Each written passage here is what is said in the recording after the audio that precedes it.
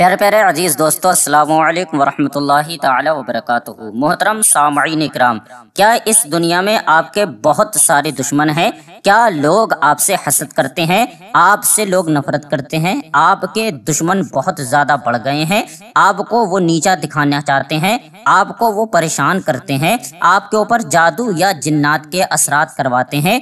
आपके कारोबार को बंद करना चाहते हैं। या फिर आपकी जान के दुश्मन है? या आपके घर वालों के दुश्मन है? या आपके कारोबार के दुश्मन है? सामीन इकराम, अगर आप अपनी दुश्मनों से बचना चाहते हैं, निजात चाहते हैं अगर आप अपने दुश्मनों को अपना दोस्त बनाना चाहते हैं, आप अपने दुश्मनों के दिलों से अपने लिए नफरत ख़त्म करना चाहते हैं और दुश्मनों के दिलों में अपनी मोहब्बत डालना चाहते हैं, दुश्मनों के तमाम हरकतों से आप बचना चाहते हैं, दुश्मनों की तमाम चालों से आप बचना चाहते हैं। अगर आपके दुश्मन आपके ऊपर जादू और जिन जिन्नात के असरात करवाते हैं और आप उनके जिन जिन्नात के असरात से, उनकी हरकतों से, उनके तावीज़ गंडों से बचना चाहते हैं। अगर आप अपनी खैरियत चाहते हैं, अगर आप अपने घर वालों की और अपनी जान की सलामती चाहते हैं तो आप हजरात एक मरतबा इस वजीफ़े को सही तरीके से ज़रूर पढ़ लेना, जो हम आपको अभी बताने वाले हैं। उसके बाद इन तबारक वाली आपके दुश्मन, आपके दोस्त बन जाएँगे। आप अपने तमाम दुश्मनों से महफूज हो जाएँगे। उनकी गंदी चालों से बच जाएँगे। बुरी उनकी चालों से महफूज हो जाएँगे। अगर वो आपके ऊपर जादू या जिन्नात के असरात करवाएँगे तो इस वजीफे को पढ़ने के बाद आपको ना ही कोई जादू जिन्नात का असर कर पाएगा और ना ही आप उनकी चालों का निशाना बन पाएँगे, बल्कि उनके दिल से आपके लिए नफरत ही खत्म हो जाएगी। वो आपको भूल जाएँगे कि मेरा कोई दुश्मन भी इस दुनिया में है। दुश्मन आपका खुद हाथ जोड़कर आपसे माफ़ी मांगेगा और कहेगा, मुझसे गलती हो गई। हमारी गलतियों को माफ़ कर दीजिए। आपकी कोई गलती नहीं है, आप अपनी जगह सही थे। वो आपको मनाएँगे, आपके आगे हाथ जोड़ेंगे और अपनी गलतियों की माफ़ी मांगेंगे। जी हाँ नाजिन इकराम, ये इतना ज़्यादा पावरफुल और इतना ज़्यादा ताकतवर वजीफ़ा है, जो शख्स सिर्फ़ एक मरतबा पढ़ लेता है, चाहे वो मर्द पढ़े, चाहे फिर औरत पढ़े, चाहे फिर बच्चे पढ़े, चाहे बुज़ुर्ग हजरात पढ़ लें। अलगरस, जो इंसान भी इस वजीफे को एक मरतबा पढ़ लेता है, उसके बाद वो इंसान हर बुरी शय से, हर बुरी चीज़ से और हर दुश्मन से महफूज हो जाता है। हर बला, हर मुसीबत से इंसान बच जाता है। दुश्मनों से इंसान को पूरी तरह से हिफाजत मिल जाती है। चाहे आपका कितना भी पुराना दुश्मन हो, चाहे आपका दुश्मन मर्द हो, चाहे आपका दुश्मन औरत हो, किसी भी तरह का और किसी भी शक्ल में कोई आपका दुश्मन हो और वो आपको किसी भी तरह से नुकसान पहुँचाना चाहता हो या फिर चाहती हो। इन तबारक वाली इस वजीफे की बरकत से आप हर एक नुकसान से महफूज हो जाएँगे। सामान्य कराम आजकल मुआरे में ये जो हसद की बीमारियाँ हैं, ये गैरों में तो कम होती हैं, लेकिन ये बीमारियाँ अपनों में ज़्यादा होती हैं। कोई पड़ोसी पड़ोसी का दुश्मन बन जाता है, भाई भाई आपस में दुश्मन हो जाते हैं, बहने बहने आपस में दुश्मन हो जाती हैं, लेकिन बाहर के जो दुश्मन होते हैं, वो हज़रत मोहतरम हमें इतनी ज़्यादा तकलीफ़ नहीं देते हैं। लेकिन अपने जो दुश्मन होते हैं, वो हमें बहुत ज़्यादा तकलीफ़ देते हैं। क्या आप याद रखिएगा कि गैरों में तो हमारे दुश्मन कम होते हैं, लेकिन अपनों में हमारे बेशुमार दुश्मन होते हैं। वो हमारे ऊपर जादू करवाते हैं, हमारे कारोबार पर जादू करवाते हैं, कभी रिश्तों में बंदिशें लगवा देते हैं, जिसकी वजह से हमारे या फिर हमारी औलाद के अच्छे रिश्ते नहीं हो पाते हैं। कभी हमारे कारोबार पर बंदिश लग जाती है, जिसकी वजह से कारोबार में दिन ब दिन रुकावटें, दिन ब दिन कारोबार डाउन होता चला जाता है, नीचे आता चला जाता है, और फिर एक दिन ऐसा आता है कि हमारा पूरा कारोबार पूरे तौर पर बंद ही हो जाता है।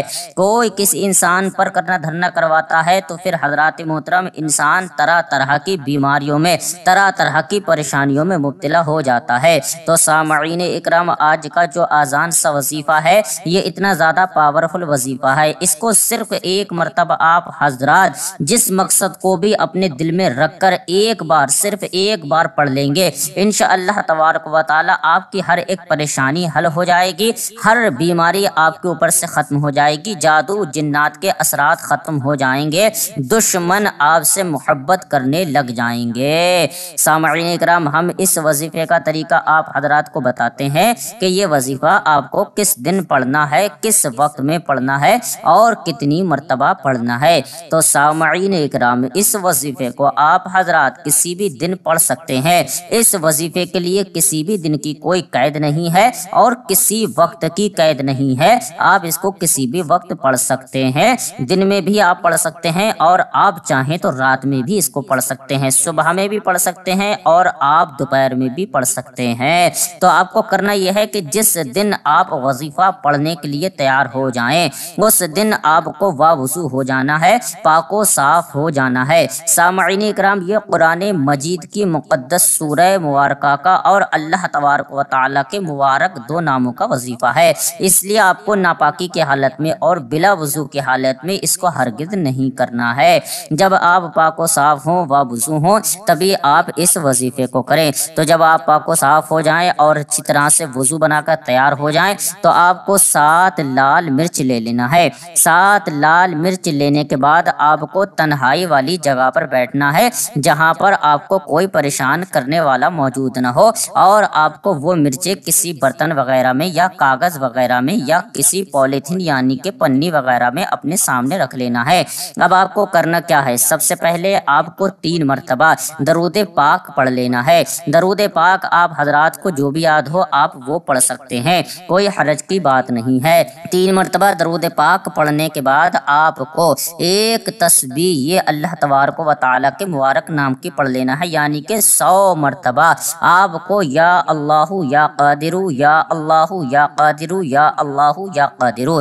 इस तरह से आप सौ मरतबा पढ़ लें, उसके बाद आप एक लाल मिर्च अपने हाथ में उठाएँ और अपने सीधे हाथ में उसको पकड़ लें और फिर मुट्ठी बंद कर लें। बंद करने के बाद आपको ग्यारह मरतबा सूर्य नास शरीफ पढ़ना है और हर मरतबा शुरू में बिस्मिल्लाहिर्रहमानिर्रहीम भी पढ़ लेना है। ग्यारह मरतबा पढ़ने के बाद आपको उस मिर्च पर दम कर देना है। अब वो मिर्च फूक कर अलग रख देना है और फिर आपको दूसरी मिर्च अपने हाथ में उठाना है और इसी तरह से मुट्ठी में रहकर आपको अपनी मुट्ठी बंद कर लेना है और फिर आपको ग्यारह मरतबा सूर्य नास शरीफ पढ़ना है। हर मरतबा शुरू में बिस्मिल्लाहिर्रहमानिर्रहीम पढ़ना है। एक मरतबा फिर उस पर फूक मारना है और उसको भी अलग रख देना है। इस तरह से आपको सातों मिर्चों पर एक एक कर कर ग्यारह ग्यारह मरतबा सूर्य नास शरीफ पढ़ना है। हर मिर्च पर अलग अलग फूक मारना है और उसको अलग रखते जाना है। आखिर में फिर आपको तीन मरतबा वही दरुद पाक पढ़ लेना है, जो दरुद पाक आपने शुरू में पढ़ा था। पढ़ने के बाद आपको अपने हाथ उठाना है और बारगाह परवर दिगार आलम में इस तरह से थोड़ी देर दुआ करना है। अः परवर दिगार आलम, मैंने जिस मकसद के लिए कुरान मजीद की इस सूर्य को पढ़ा है और तेरे मुबारक दो नामों को पढ़ा है, मौला तू मुझे हर मकसद में कामयाबी अता फरमा दे। या अल्लाह, मेरे तमाम दुश्मनों के दिलों से मेरे लिए नफरतें निकाल कर मेरे लिए मोहब्बतें पैदा फरमा दे, उल्फत पैदा फरमा दे। मुझे तमाम दुश्मनों से निजात अता फरमा दे। दुश्मनों की चालों से मुझे निजात अता फरमा दे।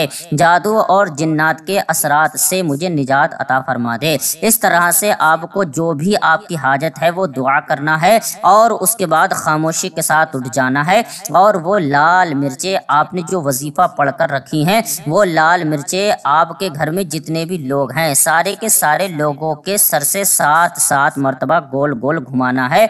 घुमाने के बाद आपको वो मिर्च जला देना है। जहाँ आपको बेहतर लगे, आप वहाँ उन मिर्चों को जला सकते हैं। आप हजरात ऐसी जगह पर मिर्च जलाएँ जहाँ पर और किसी को इससे तकलीफ़ ना हो, क्योंकि जब मिर्चें जलेंगी तो जलाने से जो जहरीली गैस इसमें से निकलती है, उस गैस से किसी को तकलीफ़ ना हो। इसलिए बेहतर है कि किसी मैदान में, किसी ऐसी खाली जगह में जलाएँ जहाँ कोई रहता ना हो। सामान्य कराम जैसे ही आप ये मिर्चें जलाएँगे, आपके दुश्मनों के दिल से आपके लिए नफरत जलकर राख हो जाएगी, हसद जलकर राख हो जाएगा, बुग्ज और कीना जलकर राख हो जाएगा, जादू और जिन्नात के असरात जलकर राख हो जाएँगे और आप हजरात अपने दुश्मनों से महफूज हो जाएँगे, तमाम बलाओं से महफूज हो जाएँगे, दुश्मन खुद आपसे माफ़ी मांगेगा, आपसे अपनी गलती की माजरत तलब करेगा और आपके दुश्मन आपके दोस्त बन जाएँगे। तो सामान्य कराम ये बहुत ही वाकई बाकमाल वजीफ़ा है। इस वजीफ़े को आप हजरात एक मरतबा ज़रूर करें। अगर वीडियो आपको अच्छी लग जाए तो वीडियो को दिल से लाइक कर दें। अपने उन रिश्तेदारों में इसको शेयर कर दें जो दुश्मनों की दुश्मनी से परेशान आ चुके हैं।